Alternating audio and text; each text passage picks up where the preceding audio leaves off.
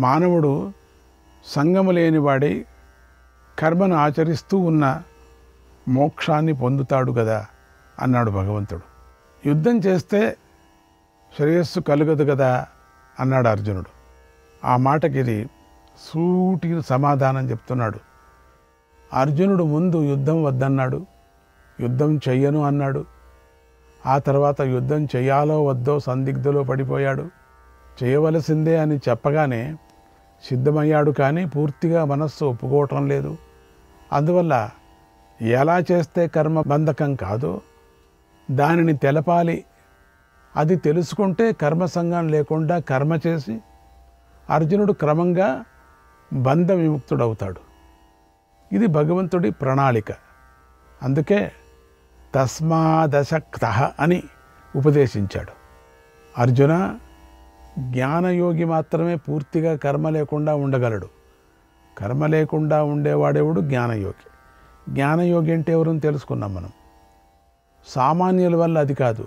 సామాన్యులు అంటే కూడా తెలుసుకున్నాం. ఎట్లా ఉంటాడు అని. కనుక నువ్వు ఆసక్తి లేకుండా ఎప్పుడు చేయవలసిన నిత్యకర్మను చేస్తూనే ఉండు. అసక్తుడివై ఈశ్వరార్థం కర్మ చేస్తూ ఉంటే సత్వశుద్ధి కలుగుతుంది. దాని ద్వారా నువ్వు మోక్షం పొందుతావు అని భగవంతుడి ఉపదేశం. తక్కిన యోగాలతో పాటు కర్మయోగం కూడా మోక్షాన్ని ఇస్తుంది. కానీ ఇందులో క్రమంగా మోక్షం లభిస్తుంది. జ్ఞానయోగంలో నేరుగా మోక్షం లభిస్తుంది కదా అని ఆశపడి దూకేయకూడదు. బాగా ఈదటం తెలిసిన వాళ్ళు కూడా వరదలతో పోటెత్తి ఉన్నటువంటి మహానదిలో దిగరు. దిగకూడదు. దిగితే అపాయంలో పోతారు. గజ ఈతగాళ్ళు కూడా సుడిగుండాలున్నటువంటి మహానదిలో దిగటానికి భయపడతారు. ఎందుకంటే సుడిగుండం దాన్ని పోట్లాడి పైకి రాలేరు. మనకి ఏది చేత అవుతుందో దానిని చేయాలి. అర్జునుడికి కర్మయోగమే చేత అవును అని భగవంతుడికి తెలుసు. అందుకే దానినే చెబుతున్నాడు. కర్మయోగం వల్ల చిత్తం శుద్ధమవుతుంది. మోక్షం అంటే ఏమిటి? అనే ప్రశ్నకు యోగ వాసిష్టము మోక్షోహి చేతో విమలం అని చెప్పింది. అంటే చిత్తము నిర్మలమవటమే మోక్షము. మళ్ళీ మళ్ళీ చూసారా? వేరే వేరే అర్థాలతో చెప్తున్నారు. చిత్తశుద్ధి అయిన తర్వాత ఇక చేయవలసిన సాధన కొద్దిగానే ఉంటుంది. దానిని సాధకుడు తొందరగా అందుకుంటాడు. ఆ చిత్తశుద్ధి కర్మాధికారికి కర్మయోగం వల్లనే సాధ్యమవుతుంది కదా. బలవంతంగా ఈ కర్మలు నా కొద్ది అని విడిచిపెట్టిన ఈ కర్మలలో ఆయాసం ఉంది అని విడిచిపెట్టిన సోమరితనంతో కర్మలు విడిచిపెట్టినా కూడా జీవుడు భ్రష్టుడైపోతాడు. అందుకని కర్మ ఆచరించాల్సిందే అని చెప్పుకొచ్చారు. అందువల్ల కర్మఫలాపేక్ష లేకుండా కర్మ చెయ్యాలి అని గట్టిగా చెప్పాడు. అని భగవంతుడు ఉపదేశించగా అర్జునుడికి సహజంగానే ఒక ప్రశ్న కలగవచ్చు. ఇదేమిటంటే కృష్ణ నువ్వు యజ్ఞాది కర్మలను గురించి మాట్లాడుతున్నావు. నేనేమో యుద్ధం వద్దని చెబుతున్నాను. నువ్వేమో యుద్ధం చేయమంటున్నావు. యుద్ధం నా కర్తవ్యం అంటున్నావు. నాలాంటి వీరులు ఫలం మీద ఆసక్తి లేకుండా కర్మ చేయగలరా? అసలు అలా చేసిన వారు ఎవరైనా చరిత్రలో ఉన్నారా? అనే ప్రశ్న కలగవచ్చు. దానికి ఉదాహరణ చూపించి భగవంతుడు ఉపదేశం చేస్తున్నాడు. నిష్కామ కర్మయోగాన్ని ఇక్కడ బలపరుస్తున్నాడు. కర్మణైవ హి సంసిద్ధిం ఆస్థిత జనకాదయ లోక సంగ్రహమేవాపి సంపశ్యన్ కర్తుమర్హసి. జనక మహారాజు మొదలైనటువంటి మహారాజులు నిష్కామ కర్మతోనే మోక్షాన్ని పొందారు కదా. జనక మహారాజు అంటే సీత తండ్రి కాదు. ఆ సీత తండ్రి జనక మహారాజు మిథిలా పట్టణంలో ఎవరెవరు రాజులు వస్తారో వాళ్ళకందరికీ వాళ్ళందరికీ జనక మహారాజులే అని పేరు వచ్చింది. అందు కాబట్టి ఒక జనకుడు దాంట్లో. మిథిలా పట్టణంలో రాజు అయినటువంటి ఒక జనకుడు ఆ జనక మహారాజు. మహాజ్ఞానాన్ని పొందినటువంటి వాడు జనక మహారాజు. జనక మహారాజు మొదలైనటువంటి మహారాజులు నిష్కామ కర్మతోనే మోక్షాన్ని పొందారు కదా. నువ్వు లోక సంగ్రహాన్ని మనసులో పెట్టుకొని బాగా ఆలోచించి కర్మను చేయటానికే తగిన వాడివై ఉన్నావు అన్నాడు భగవంతుడు. జనకుడి విషయంలో ఉపనిషత్తులు పురాణాలు రామాయణ మహాభారతాలు యోగ వాసిష్టము కథలు కథలుగా చాలా విషయాలు చెప్పాయి. ఆ జనక మహారాజు ఒక్కడే కాదు జనక మహారాజుల్లో ఐదారు మంది వస్తారు అక్కడ. గురుగీతలో కూడా జనకుడి మాట వినిపించింది. విద్వాంసులైన క్షత్రియులు పూర్వం కర్మ వల్లనే క్రమంగా మోక్ష సాధన చేశారు.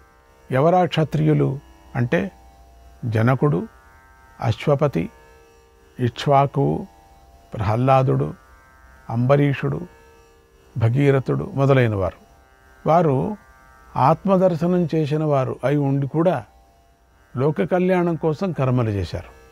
చూసారా వాళ్ళు ఆత్మదర్శులు అయిపోయారు. ఆనందపడ్డారు. కానీ వీళ్ళంతా లోక కళ్యాణం కోసం కర్మలు ఆచరించారు. ఆ కర్మల వల్ల చిత్తశుద్ధి కలిగి దాని ద్వారా ఆత్మజ్ఞానాన్ని సంపాదించుకున్నారు అని చెప్పుకోవచ్చు. లేదా ఆత్మజ్ఞానులై ఉండి కూడా లోక కళ్యాణం కోసం కర్మ చేశారని కూడా చెప్పుకోవచ్చు. రెండు విధాలుగా వాళ్ళకి ఆత్మానందాన్ని పొందారు. కర్మల వల్ల ఆత్మజ్ఞానం కలిగిన తరువాత కూడా ఆ కర్మలు చేయటం మానకుండా కొనసాగిస్తూనే మోక్షం పొందారు అని చెప్పుకోవచ్చు. కర్మ వల్లనే కర్మలు చేసి చేసి చిత్తశుద్ధి కలిగి జ్ఞానముక్తులైపోయి ఆత్మదర్శనం కలిగినప్పుడు కూడా మళ్ళీ కర్మలే ఆచరించుకొని వచ్చారు కూడా. ఆ అక్కర్లేదు వాళ్ళకి. అయినా వాళ్ళకి లోక కళ్యాణం. వాళ్ళను చూసి లోకులు నేర్చుకుంటారు అనే దృష్టితో కర్మను ఆచరించుకుంటారు అనే దృష్టితో వాళ్ళ చుట్టూ ఉండేవాళ్ళు ఆచరిస్తారు అనే దృష్టితో చేసుకొని వచ్చారు. లేకపోతే వాళ్ళకేం అక్కర్లేదు అది. లేదా జనకుడు మొదలైన వారు ఆత్మజ్ఞానం పొందినవారు కారు. అనుకుంటే అప్పుడు వారు చిత్తశుద్ధి కోసం కర్మలను ఆచరించి క్రమంగా మోక్షాన్ని పొందారు అని కూడా ఈ శ్లోకానికి అర్థం చెప్పుకోవచ్చు. ఒకవేళ వాళ్ళు పొందలేననుకోండి క్రమ ప్రకారంగా కర్మను ఆచరించుకొని వచ్చి మోక్షాన్ని పొందారు అని కూడా చెప్పుకోవచ్చు కదా. మనకు అర్థం కాదు కదా వీళ్ళు ఆత్మజ్ఞానం పొందారా ఆత్మజ్ఞానం పొందలేదా అని సర్టిఫికెట్ ఎవరు ఇస్తారు?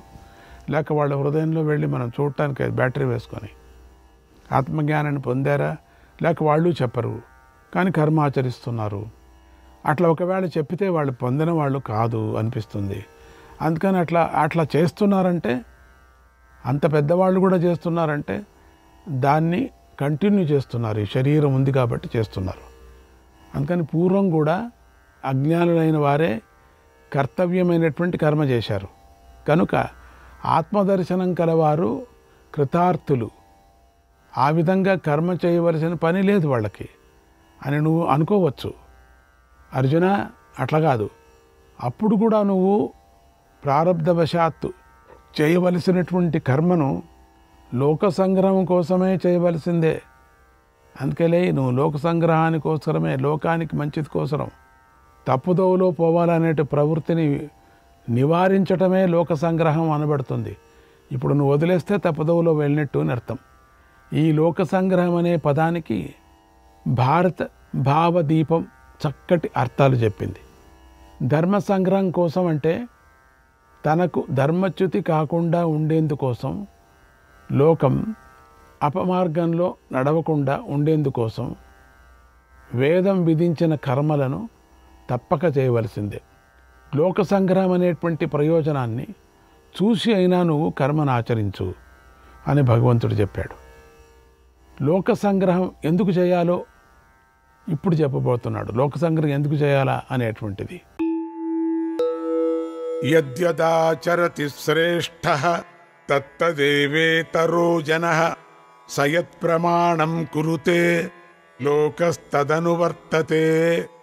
యద్యాచరతి శ్రేష్టాహ తత్తో దేవితరో జనాహ ఈ దీన్ని చాలా వరకు పండితులందరూ కూడా యా, స యత్ప్రమాణం కురితే లోకస్తదను వర్తతే దీన్ని చాలా వరకు ఉదాహరణకు ఉపన్యాసానికి వాడుతూ ఉంటారు. నేను చిన్నప్పుడు చాలా చాలా చాలా చాలా చాలా విన్నా. ఇవి కొన్ని చాలా మీరు రాసి పెట్టుకోవాలి అండర్లైన్ చేసి పెట్టుకోవాలి. యద్యదాచరతి శ్రేష్ఠ తత్తదేవేతరో జన సయత్ప్రమాణం కురుతే లోకస్తదనువర్తతే. గొప్పవాడు ఏ కర్మను ఆచరిస్తాడు ఆయా కర్మనే ఇతర సామాన్య మానవుడు కూడా ఆచరిస్తాడు. ఏ ఏ కర్మను ఆచరిస్తాడో ఆయా కర్మలే ఆచరిస్తాడు. ఆ శ్రేష్ఠుడు దేనిని ప్రమాణంగా చేసుకుంటాడో లోకం కూడా దానినే అనుసరిస్తుంది. చూసారా లోకంలో కొందరు శ్రేష్ఠులని ప్రముఖులని కీర్తిని సంపాదిస్తారు. తక్కిన వారు వారిని అనుసరిస్తారు. అలా అనుసరించటంలో అనేక కారణాలు ఉంటాయి శ్రేష్ఠులలో ఉండే శక్తి సామర్థ్యాలు కీర్తి మనకు కూడా లభిస్తాయి అని ఒకటి అనే కోరికతోనో వారిలాగా చేస్తే దేవతా అనుగ్రహం కలుగుతుంది అని కోరికతోనో లేదా గొప్పవారు చేశారంటే అది సరైన కర్మే అయి ఉంటుంది అనే దృష్టితోనో అది మనలను ఉద్ధరిస్తుంది అనే సంకల్పంతోనో సామాన్యులు మహాత్ములను అనుసరిస్తారు. తప్పేం లేదు. అర్జునుడు ఆ రోజుల్లో చాలా గొప్పవాడని చలామణి అవుతున్నాడు. అర్జునుడికి దేవతా అనుగ్రహం కలిగింది. అర్జునుడు గొప్ప తపస్వి. నిద్రను గెలిచిన మహాయోగి. అందుకే కృష్ణుడికి ప్రీతిపాత్రుడయ్యాడు. అందుకే కృష్ణుడికి చాలా ప్రీతిపాత్రుడై అంటే ప్రతి ఒక్క పనిలోనూ కూడా సోమరి లేకపోవటం ఆ పనిని పూర్తిగా ముగించటము అనే నిద్ర గెలిచినట్టు అర్థం అక్కడ.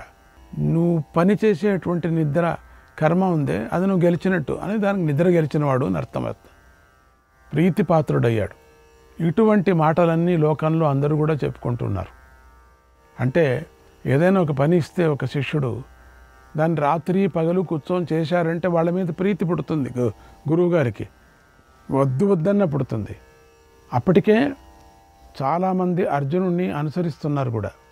ఈ స్థితిలో అర్జునుడు తన కర్తవ్యమైనటువంటి యుద్ధాన్ని మానేసి పారిపోతే లోకమంతా కర్తవ్యాన్ని మానేస్తుంది కదా. మిగతా వాళ్ళు అదే చేసేస్తారు. అంటే యుద్ధం మానేసి కాదు కర్తవ్యం మానేసి. ఇదేమిటంటే అర్జునుడు చేశాడు కదా ఏం చేస్తే తప్ప అంటారు. సాత్వికి అంతటి వాడే అర్జునుడికి శిష్యుడయ్యాడు. సాత్వికి అర్జునుడు ఎంత చెప్తే అంతే. అటువంటి వీరులు చాలామంది ఉన్నారు. వారందరూ ధర్మభ్రష్టులైపోతారు. అందరూ ధర్మ వరుసగా అయిపోతారు. అర్జునుడు ఒకడు పారిపోతే వద్దని మిగతా వాళ్ళంతా వెళ్ళిపోతారు. వెనక నుంచి వచ్చి బాణం కొట్టినా కూడా చచ్చిపోతారు. భ్రష్టులైపోతారు. ఆ పాపం ఎవరికి? అర్జునుడికే. కనుక కృష్ణ పరమాత్మ అందుకే ప్రేరేపణ చేస్తున్నాడు. నువ్వు వెళ్ళిపోతే అందరూ వెళ్ళిపోతారయ్యా అని. కృష్ణ పరమాత్మ. శ్రేష్ఠుడు ఏం చెప్తాడో లోకమంతా దాన్నే చేస్తుంది. శ్రేష్ఠుడు ఏం చేస్తున్నాడో ఏం చెప్తున్నాడో లోకమంతా దాన్నే చేస్తుంది. జనకాదులు ఈ విషయాన్నే మనసులో ఉంచుకొని తమ కర్తవ్యాన్ని చేశారు. లేకపోతే జనకుడికి అక్కర్లేదు. జనకుడికి ఆత్మసాక్షాత్కారం పొందినవాడు. మళ్ళీ రాజ్యం ఏడాల్సిన పని లేదు. రాజ్యంలో కొన్ని యజ్ఞాలు చేయాల్సిన పని లేదు. మంచి మంచి కార్యక్రమాలు చేశారు. అక్కర్లేదు. కానీ లోక వ్యవహారం కోసం లోకానికి మంచిది చేయటానికి నువ్వు శ్రేష్ఠుడివా కాదా నువ్వే తేల్చుకో. అర్జునుడు చాలా శ్రేష్ఠుడు అందుకని అర్జునుడిని అనుసరిస్తాం అని అంటున్నారు. నువ్వు శ్రేష్ఠుడివా కాదా? నేను శ్రేష్ఠుడినే అని నీకు అనిపిస్తే కర్తవ్యాన్ని నిర్వహించు అనే అర్థం వచ్చేలాగా చెప్పాడు. నేను శ్రేష్ఠుడిని అంటున్నావా? కర్తవ్యాన్ని చేయి నువ్వు నేను భ్రష్టుడు నేను శ్రేష్ఠుడిని కాదంటున్నావా? లే వెళ్ళు. ఎందుకంటే శ్రేష్ఠుడు అంటే లోకంలో ప్రధానుడు ప్రముఖుడు. అతడు ఏది ఆచరిస్తాడో ఇతరులు కూడా దాన్ని ఆచరిస్తారు. అది జ్ఞాపకం పెట్టుకో. అతడు లౌకికంగా కానీ వైదికంగా కానీ దేనిని ప్రమాణంగా నిలుపుతాడో లోకం కూడా దానినే ప్రామాణికంగా తీసుకుంటుంది అన్నాడు భగవంతుడు. ఇక అర్జునుడు లోకం ఎలా పోతే నాకెందుకు? నేను మాత్రం యుద్ధం చెయ్యను. లోకాన్ని చూసుకోవలసిన బాధ్యత నాది కాదు. నా పని నేను చూసుకుంటాను. యుద్ధం విడిచి పారిపోతాను. లోక సంగ్రహం చేయవలసిన పని నాకు లేదు అనవచ్చు నువ్వు. అలా అనేట్టయితే అర్జున నన్ను చూడు.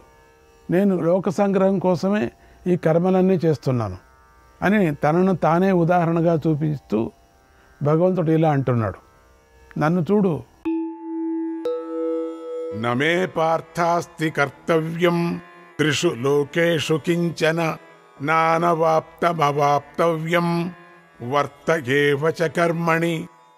ఓ పార్త నాకు మూడు లోకాలను కర్తవ్యం అనేది కొంచెమైనా లేదు. మూడు లోకాల్లోనూ కూడా. నా చేత పొందబడినది నేను పొందవలసింది అయిన వస్తువు ఏదీ లేనే లేదు. నిజమే కదా? నా చేత పొందబడనిది పొందవలసింది ఏ వస్తువు లేదు. నా చేత నేను చేసేది నేను చేయవలసింది ఏదీ లేదు. అయినా నేను కర్మయందు ప్రవర్తిస్తూనే ఉన్నాను. అన్నాడు భగవంతుడు. ఈయన అంతకన్నా ఇంకేముంది? భగవంతుడు తన తానే ఉదాహరణ చెప్పుకున్నాడు పాపం. భగవంతుడికి పొందాల్సింది ఏదీ లేదు కదా. సమస్త ప్రపంచము ఆయన నుండే వచ్చింది కదా. ఇక ఈ ప్రపంచం ఆయనకేమి ఇస్తుంది? ఆయన దీని నుంచి ఏం కోరుకుంటాడు? ఏమీ లేదు. అయినా కూడా భగవంతుడు కర్మ చేస్తూనే ఉన్నాడు. ఆయన కంటికి కనిపించకుండా చేసేది మనకు తెలియదు గనుక అవతరించి దిగి వచ్చే మరీ కర్మ చేసి చూపిస్తున్నాడు. అవతారం ఎత్తాల్సిన పనే లేదు. మన కోసం ఆ కర్మకి ఎంత ప్రాధాన్యత ఇచ్చాడో ఆయన సమస్త బ్రహ్మాండ నాయకుడు అని భాగవత భారతాదుల్లో హరివంశంలోనూ ఎన్నెన్నో ఘట్టాలు మనకు చెబుతున్నాయి. బాల్యంలో దేవకీదేవికి తన చతుర్భుజ రూపాన్ని చూపించాడు. వసుదేవుడు కారాగారం నుంచి తీసుకొని వెళుతున్నప్పుడు కంసుడి రాజ్యమంతా మాయ కమ్మేసి తను మాయాతీతుడని చూపించాడు. యశోదాదేవికి తన ముఖంలోనే బ్రహ్మాండాలను దర్శింపజేశాడు. దామోదరుడై తనను ఎవరూ బంధించలేరు అని చెప్పాడు. తనకు కర్మబంధాలు లేవు అని సూచించాడు. పూతన అఘాసురుడు మొదలైనటువంటి రాక్షసులను సంహరించి వారికి అందరి కళ్ళ ఎదుట మోక్షమిచ్చాడు. బ్రహ్మమాయకు మించిన మాయను చూపించి బ్రహ్మచేత నమస్కరించబడ్డాడు. గోవర్ధనోద్ధారం చేసి తానే సమస్త జగద్రక్షకుడు అని చూపించాడు. దావాగ్నిని మిరింగివేసి తమ పంచభూతాలకు అతీతుడు అని స్పష్టం చేశాడు భాగవతంలో. తానే ధర్మ మర్యాదలను సృష్టించి ఉపదేశించి రక్షిస్తున్నాడు. మరి రాసలీల మొదలైన ఘట్టాల్లోని సంగతి ఏమిటి అంటే అప్పుడు శ్రీ సుఖమహర్షియే ఇలా అద్భుతమైన సమాధానాన్ని చెప్పాడు. మహాత్ములైన వారికి దోషం అంటదు. అగ్నికి దోషం ఎక్కడ ఉంటుంది దోషం అంటదు. వారు సర్వభక్షకుడైనటువంటి అగ్నిలాగా పవిత్రులై ఉంటారు. నేను మహాత్ములలాగానే చేస్తాను ప్రవర్తిస్తాను అనకూడదు. వాళ్ళలాగా ఉంటా దానికేమింది నాకేమి? అట్లా వేషం వేసుకొని అట్లా నాటకం ఆడకూడదు. మూర్ఖంగా అధర్మం చేస్తే మాత్రం నశిస్తాడు. అది ఎలాగంటే రుద్రుడు కానివాడు సముద్రం నుండి పుట్టిన విషాన్ని త్రాగితే మరణిస్తాడు కదా.